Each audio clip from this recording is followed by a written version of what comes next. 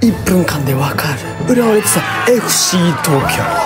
前半の31分。松尾が FC 東京のビルドアップを見せたところをうまく拾ってそこからドリブルでちょっとずつ猛進して最後はドフリーになっていたモーベルグに渡して流し込み先制ゴール。そして後半の4分には伊藤敦が空いてるスペースがあってそこに駆け込み血を這うような左足のロングシュートが決まり追加点これで2対0そしてなんと3点目が入ってしまいます。70分ですね。モーベルクがボールを持って後ろから走ったんですよ。そしたらうまいヒールパスをして強いクロスそして大久保がうまく合わせて3点目浦和レッズはその後守りきって西川さんの曽我畑さんを超える J1 通算170試合無失点記録を達成。日本新記録おめでとうございます。これで浦和レッズは9位に浮上しました。ここからもね連勝街道を突っ走ってどんどんどんどん優勝争いに食い込んでいきたいところです。